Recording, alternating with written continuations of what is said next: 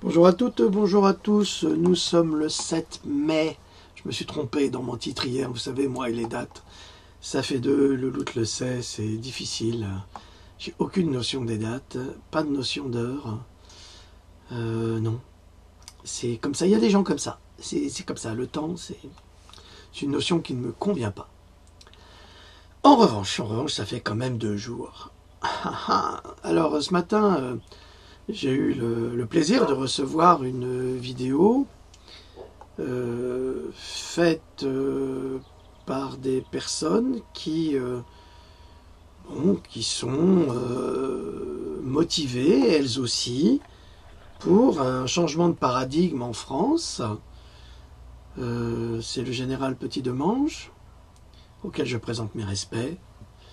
Je viens d'une famille aristocratique hongroise et et chez nous, ben, c'était des, soldats ou des curés ou des bonnes sœurs euh, ou des artistes, enfin bref. Donc euh, nous connaissons très très bien euh, les usages. Donc, donc voilà, c'est simplement une question de, correction. Là-dessus, des révélations ont été faites sur cette vidéo. Donc des montages on a pris, euh, enfin, ils ont pris, prélevé des extraits de, mon travail qui ont été commentés et justifiés, qui justifiaient une attitude et, une volonté de changement.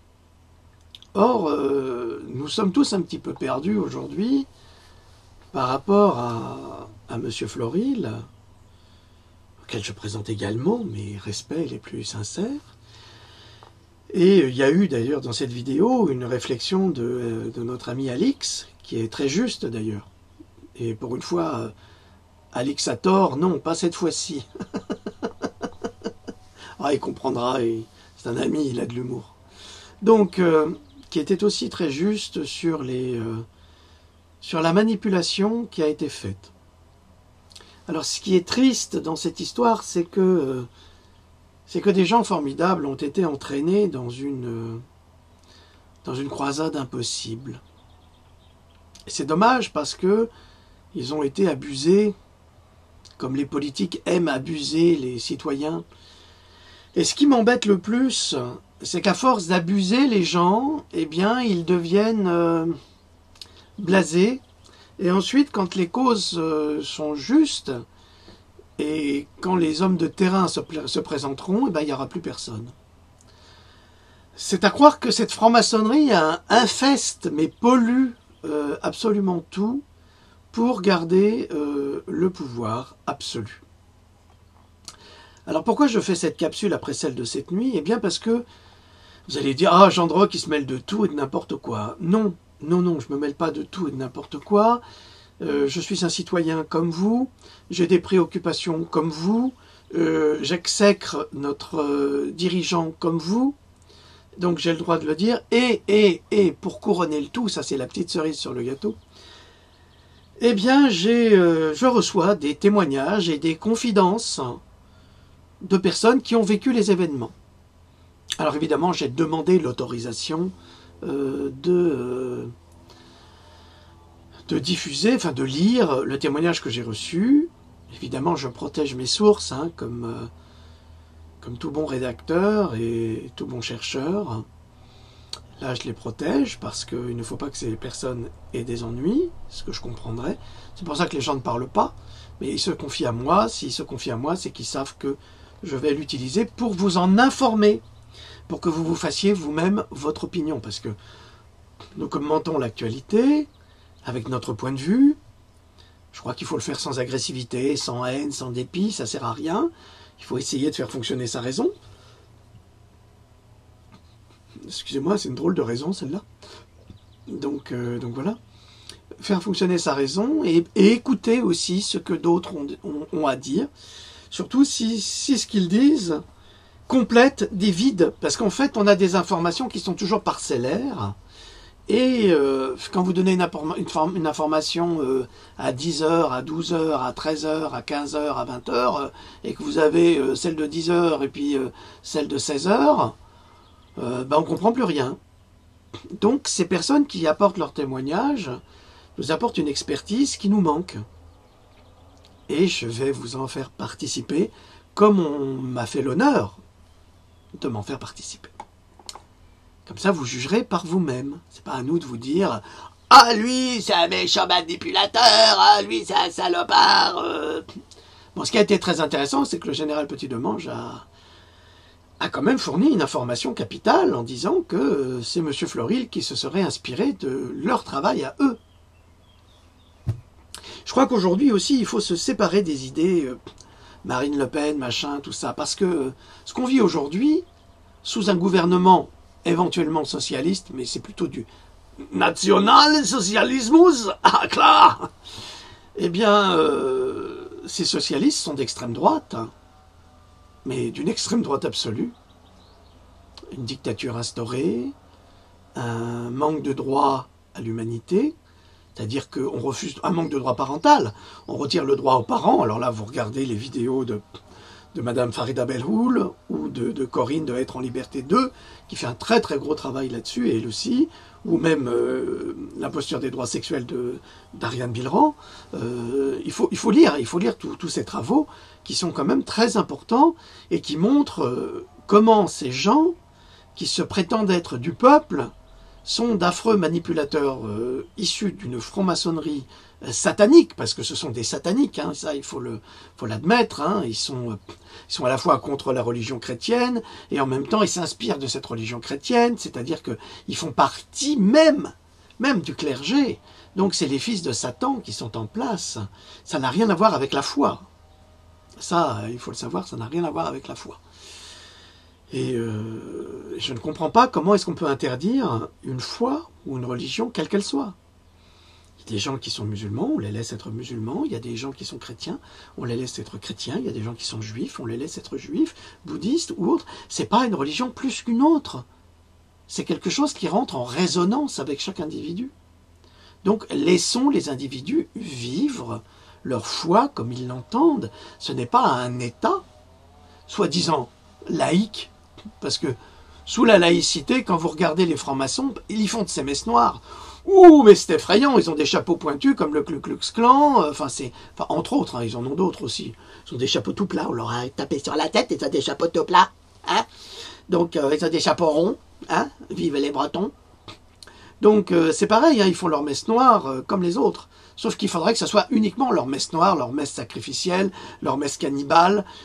c'est insupportable, c'est insupportable. Là, ils vont dire c'est pas vrai. Mais oui, à bas niveau, c'est jamais vrai, mais quand vous allez dans les hauts niveaux, c'est toujours vrai. Allez, euh, on va commencer par euh, notre séquence témoignages. Deux témoignages absolument différents. Un sur le 5 mai et un qui nous concerne tous. Bientôt, j'aurai euh, un autre témoignage très intéressant sur les mises sous tutelle. Ah oui, oui, ça, les gens, les gens s'amusent à, mettre les personnes âgées sous tutelle ou, ou, des personnes plus jeunes, enfin, peu importe. Et puis comme ça, bah, les francs-macs, bah, ils peuvent piller les, petites richesses des gens et les faire oublier dans des placards ou dans des trous à rats. Donc là aussi, il y a des choses à faire. Moi, je pense qu'on devrait mettre le petit Macron sous tutelle parce que c'est pas logique qu'il ait une femme qui soit aussi âgée que lui, bien plus âgée que lui. Elle doit le tuteler quelque part, et je n'aime pas ça. Et d'ailleurs, si j'étais Brigitte, je serais très très mécontent de ce qu'il a dit au, euh, au ministre australien. Mais alors très mécontent. Cette histoire de brute minou, euh, ça me plaît pas du tout. Mais alors, pas du tout. Elle doit se dire, mais pourquoi tu lui fais elle et pas à moi? Ça ne regarde pas ce qu'ils font. Mais quand même, c'est d'une grossièreté. Oh, T'as jamais vu un président comme ça? Mitterrand, au moins, il avait des maîtresses. Il en avait plein, mais plein. Elles ont toutes eu des postes extraordinaires. Ah bah oui, promotion canapé chez Mitterrand, c'était... Sarkozy, lui, il a divorcé. Il a voulu faire pareil, il a divorcé. Ah, ça n'a pas marché. Hollande, ben, elle a fait pareil. je ne sais pas ce qu'ils ont. Hein. Ils ont. Euh, c'est des érotomanes, hein, ces hommes euh, prolifiques. Des érotomanes. Euh, ça s'écrit zéro, Z-E-R-O, et après Thoman. Comme Thomas Mann, Thoman. Voilà. Témoignage. Bonjour Philippe. J'ai participé à la, manifestation du 5 mai CNT avec pour objectif prise de l'Élysée. J'ai fait la connaissance de personnes au cœur immense, mais aussi naïfs que moi. Je m'explique. La stratégie était la suivante. Nous devions nous présenter devant les barrages successifs en une délégation de 300 personnes habillées correctement pour être crédibles. Je n'étais pas le seul en costume cravate, avec le cortège en arrière-plan. Monsieur Fioril, c'est le même, hein, devait nous accompagner avec un juriste en droit international afin de présenter les documents de mise à l'arrêt de tous les membres du gouvernement. Euh, mise à l'arrêt, pas des fesses, hein, mise en arrêt en fait. Au moment où les manifestants se sont approchés des forces de l'ordre, M. Floril et le juriste avaient disparu. le chef de guerre qui se casse. j'ai ri, quand j'ai lu ça, mais j'en profite un peu. Nous laissant là à discuter avec les CRS pour les convaincre. tu vois le mec? Allez, on y va hein? On va leur péter la tronche, tu vas voir, les CRS arrivent. Euh, je vous laisse, hein vous, vous, vous réglez ça avec eux. Monsieur Floril, c'est pas sérieux ça. un chef de guerre, ça reste avec ses troupes. Alors ça dégage et ça n'est pas un chef de guerre. Au moment où...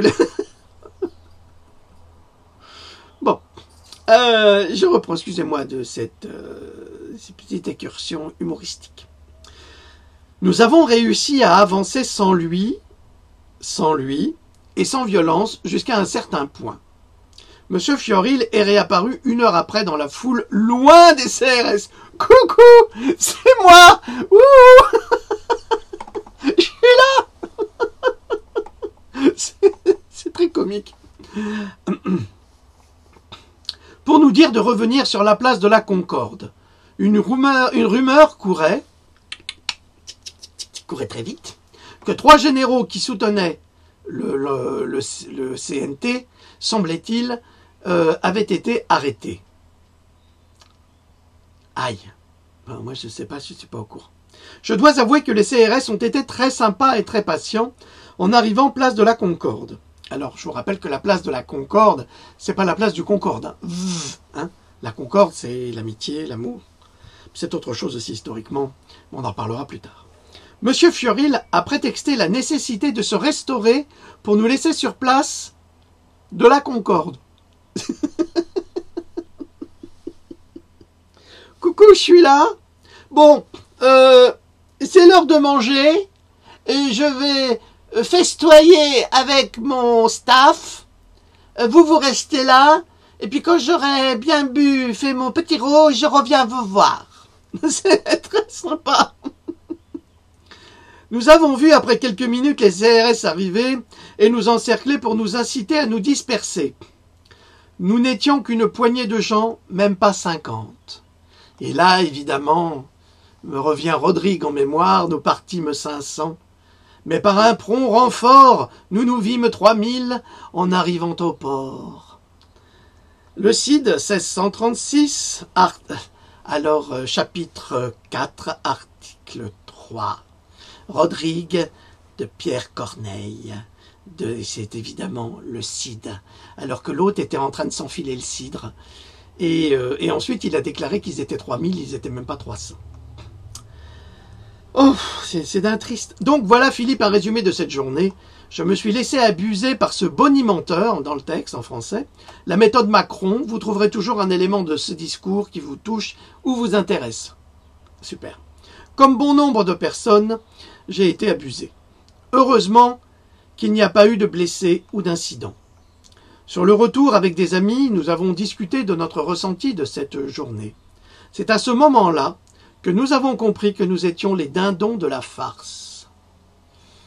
Ah ah Les dindons de la farce pendant que l'autre il festoyait. Hum, Sacré repas disait Brutus. S'en est suivi un fou rire général.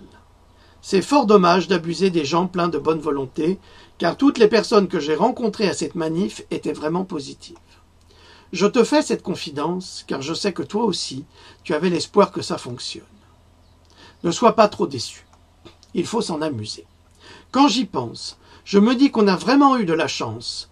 Normalement, sans déclaration en préfecture, les CRS auraient pu nous rentrer dedans de bon droit, car depuis que l'état d'urgence a été normalisé, il est interdit de se regrouper comme nous l'avons fait. Petite info également, je ne sais pas si tu as vu les mandats d'arrêt, donc du CNT, moi je les ai vus, j'aurais pu les faire moi-même.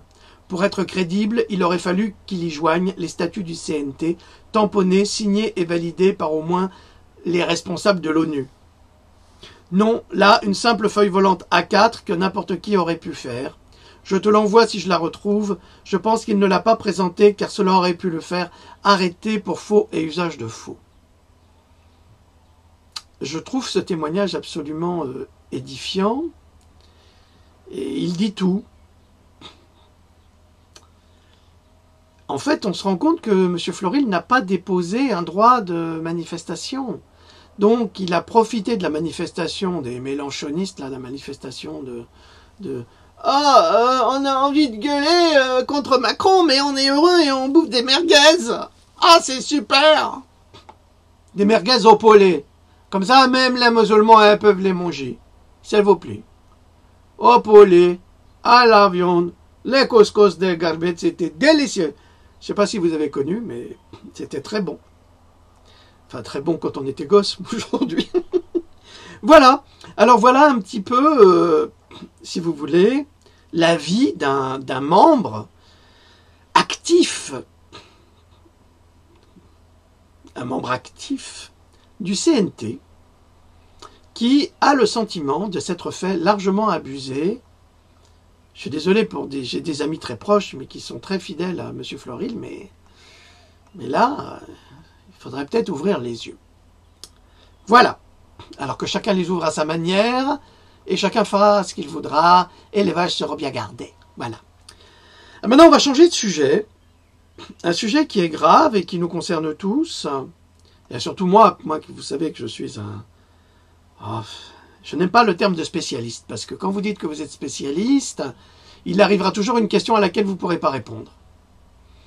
Alors, euh, mais comme j'ai écrit quand même quelques volumes sur la vaccination, et que le volume là qui fait 640 pages va sortir dans la semaine, bah, euh, alors peut-être je m'y connais un petit peu. Voilà.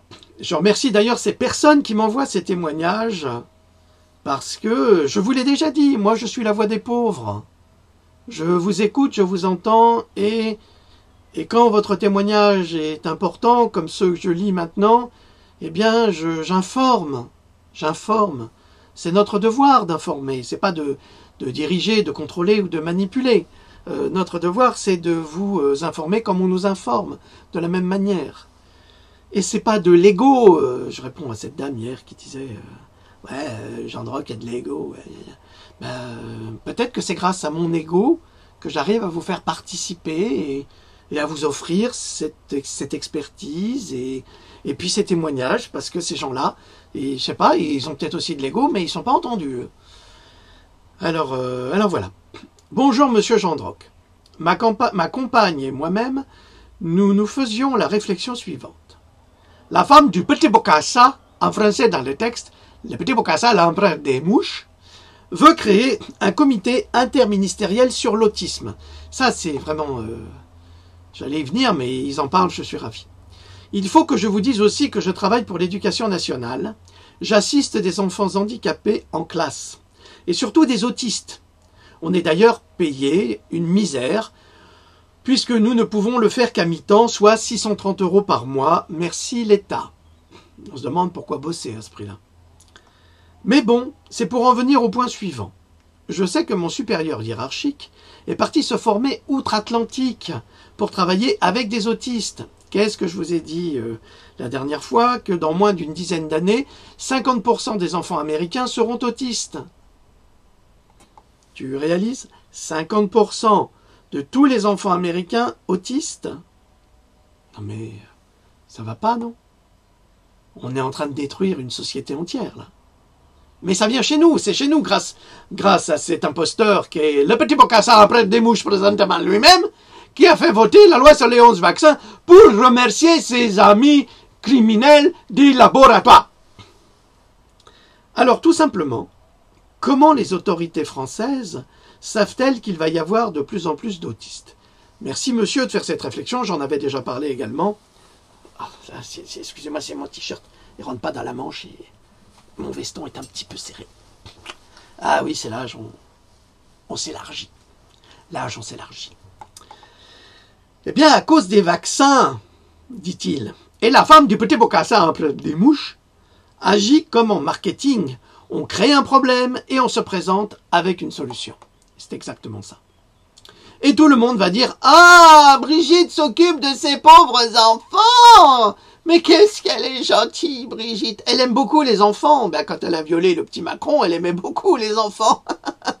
elle aime beaucoup les enfants. Et rac Ah, quelle horreur. Ah, je pense que le puzzle s'emboîte. Bah oui, c'est ce que je disais. Très bien. Et vous, qu'en pensez-vous? Alors, comme disait Coluche, eh, la même chose que vous est dégoûtant. Hein. Les papis mougeaux. Hein eh bien, j'en pense la même chose que vous, cher monsieur. Mais aussi, quel intérêt de fabriquer des autistes? Alors là, je peux vous répondre. C'est une technique de guerre, en fait. C'est une technique de guerre quand on a par exemple euh, une armée et puis une milice. Alors la milice, c'est une armée euh, de citoyens qui fait un travail que l'armée elle-même ne peut pas faire. Donc c'est vous, c'est moi, c'est n'importe qui qui décide de prendre les armes. Eh bien, pour invalider la milice, on va euh, invalider la famille de la milice, ou on va la faire prisonnière. Comme ça, on coupe cette armée parallèle du combat. Alors les Russes en Afghanistan avaient utilisé une technique euh, absolument abominable. Eh bien, ils avaient piégé des jouets. Et ils lançaient les jouets par avion ou par hélicoptère avec des colis. Ce qui fait que les gosses, eh ben, ils voyaient tomber du ciel des jouets, ils couraient les chercher, et puis quand ils les activaient, eh ben, c'était des bombes, des grenades la plupart du temps. Enfin, excusez-moi, là aussi c'est une bombe. Je viens de manger, c'est pour ça. Euh, C'était des bombes et euh, automatiquement ça leur faisait sauter les jambes, les pieds, les mains et on se retrouvait avec des enfants euh, ou, euh, ou paraplégiques. C'est affreux, hein, ou une partie du cerveau qui part. Et euh, ça faisait que les Moudjahidines, eh ben, quelque part, ils étaient obligés de rester pour s'occuper de leurs gosses. Leurs gosses invalidés. Donc, pourquoi est-ce qu'on fabrique des autistes? Eh bien, c'est la même chose, c'est une technique de guerre. Et avec l'obligation vaccinale, on fabrique des autistes. C'est vraiment la, la fabrique de l'autisme. Ah oui, ah mais je confirme absolument. Et j'ai toutes les preuves de ce que j'avance. Donc euh, ce monsieur qui est un homme qui travaille avec ses handicapés et qui est très intelligent avec son, épouse ou sa compagne, je ne sais pas, peu importe, eh bien ils savent, ils ont compris. Ils ont compris parce que eux ils sont dans le bain. Alors, peut-être pour empêcher les gens de se révolter. Bravo, monsieur.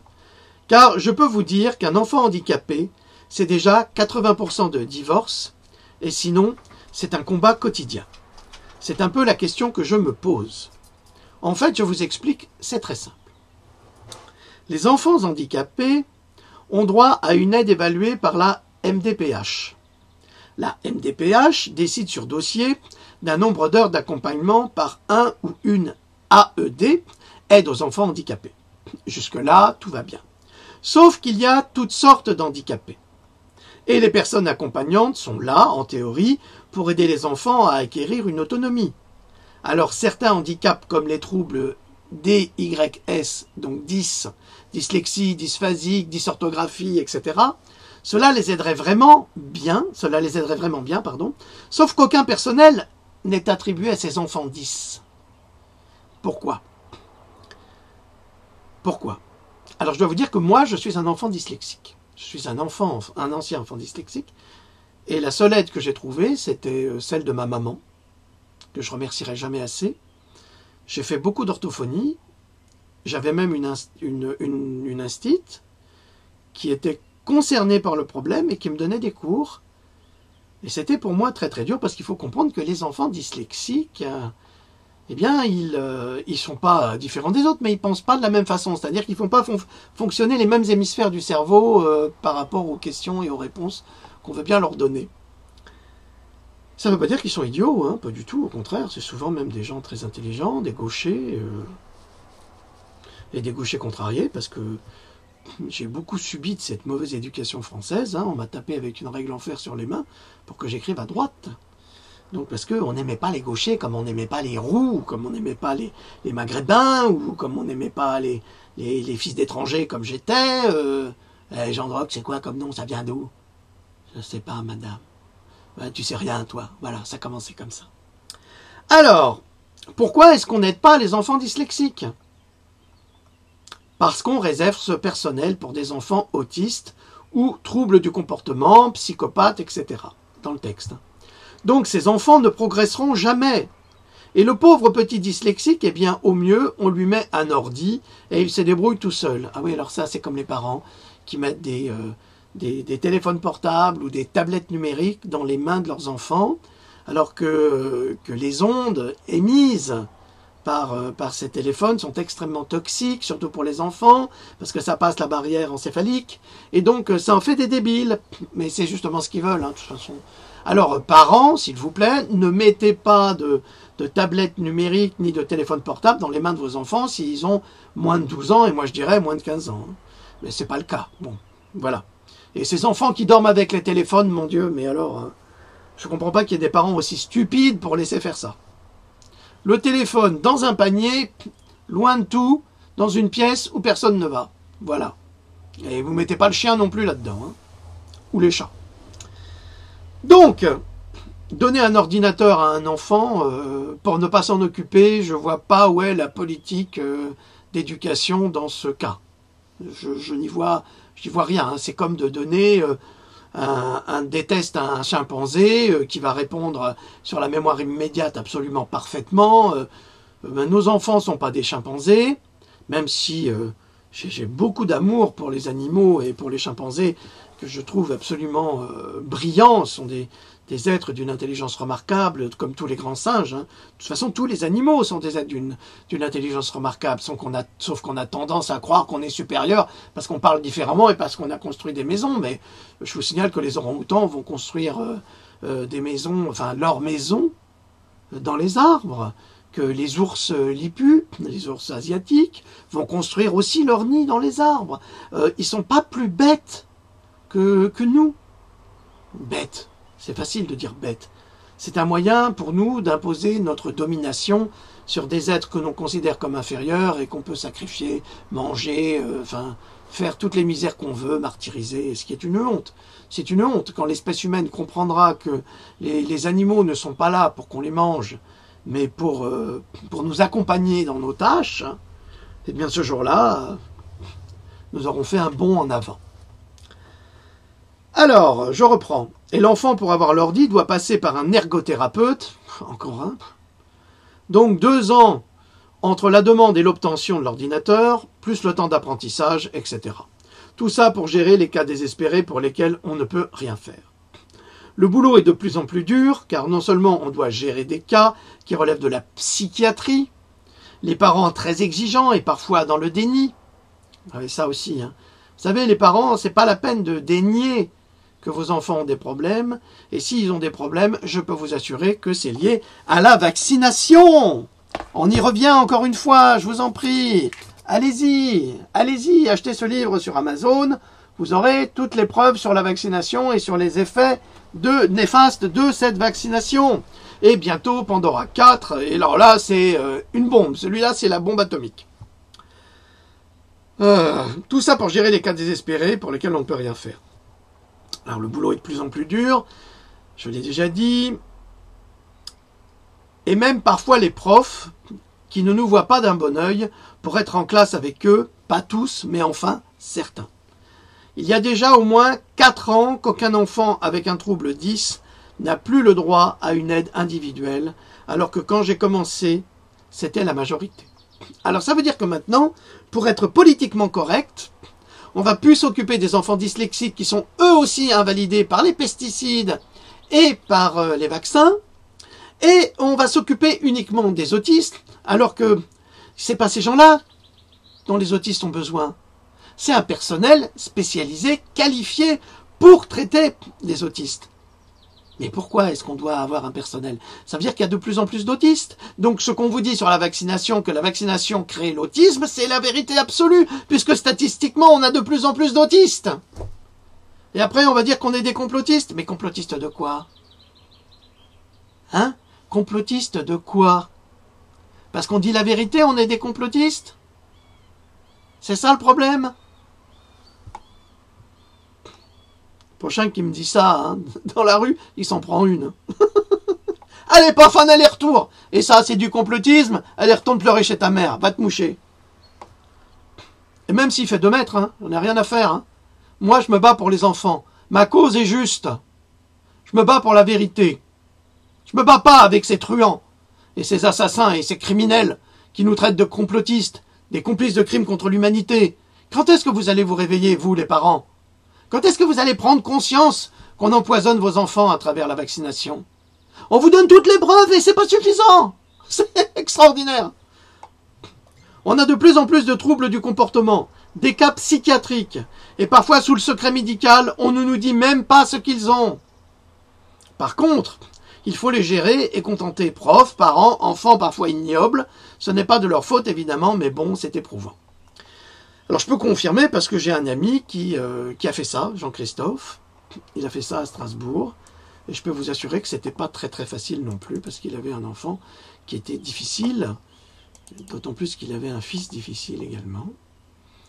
Donc c'est très très dur, c'est très très dur. Donc est-ce que vous voyez dans quelle situation on nous plonge? Ça devient euh, absolument catastrophique catastrophique. On nous prend pour des imbéciles. Euh, les petits bocassa empruntent des mouches et de rien du tout, qui s'amusent à tourner autour des fientes et qui vont manger dedans. Hein, c'est un bouffeur de merde. Eh bien, euh, celui-là qui va faire guili-guili à un autiste en s'attendant à une réponse, le type c'est un ignorant. Mais c'est un ignorant, un, un, infâme ignorant. Il sait rien du tout, il est inculte au possible.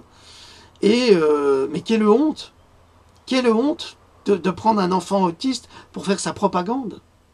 Alors que c'est lui qui a signé justement la loi sur les 11 vaccins avec sa complice, Agnès Buzyn.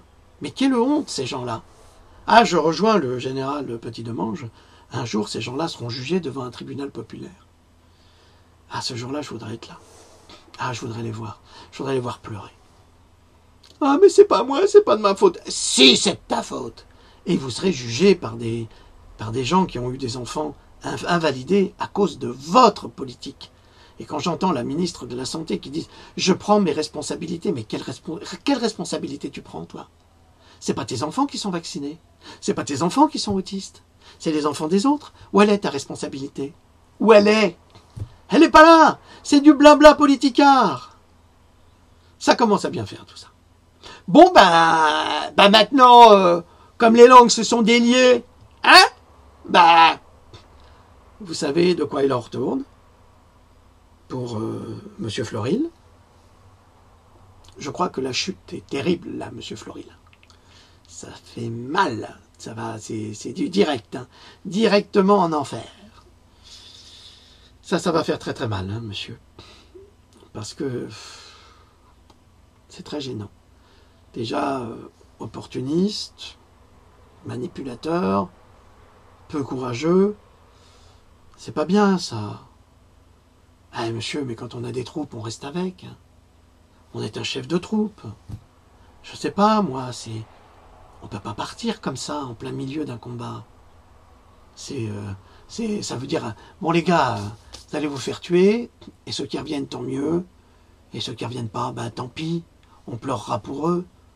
Et ça marche pas comme ça, hein on ne peut pas fidéliser un auditoire. Hein. Si vous croyez que Napoléon, euh, il a fait la campagne de Russie euh, en France, et il faut, vous souvenir, hein, Monsieur Floril. Hein. Il est parti lui aussi. Lui aussi, il était dans le froid, avec ses gars.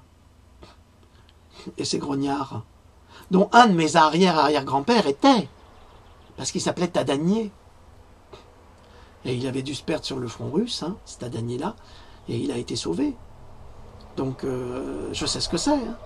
Vous savez, moi, je suis, euh, je suis hongrois, c'est vrai, de la part de mon père. Hein. Toute la famille de mon père, c'est hongrois, croate, grande famille de Hongrie, transylvanienne. Euh, du côté de ma maman, c'est aussi des Hongrois et des Russes. Mais maman est née en France, donc elle est française. Très fière d'être française, et très heureuse d'être française. Mais euh, elle s'appelait Tadanier. Et Tadanier, c'est un nom français. Retour aux sources. Donc je défendrai ma patrie, mon sol, ma terre, ma France, à moi. Parce que je l'aime, ce pays. C'est le mien. Et je le défendrai coûte que coûte contre tous ces imposteurs, tous ces voyous et tous ces assassins qui assassinent nos enfants de France, mais qu'ils soient, qu'ils soient coréens, vietnamiens, maghrébins, africains ou autres, ce sont tous des enfants français. Ils sont, ils sont nés sur le sol français, ce sont tous des Français, ils bénéficient tous de notre culture, ils bénéficient tous de notre défense. Un point, c'est tout. Ça s'arrête là. C'est comme ça qu'une nation devient forte. Voilà.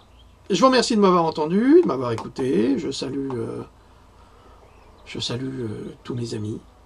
Je vous l'ai déjà demandé. Sur mon mur, pas de discorde, ça ne sert à rien. Des discordes, pas du discorde des émissions. Pas de conflit. Je ne supporte pas la, notion de conflit. On peut régler les choses avec de la bienveillance, de la politesse, et de la gentillesse. Alors ne vous opposez pas les uns aux autres. Construisez ensemble. C'est la seule manière qu'on a de pouvoir parvenir à quelque chose. Voilà, je vous remercie euh, de votre écoute et je vous dis à très bientôt. Salut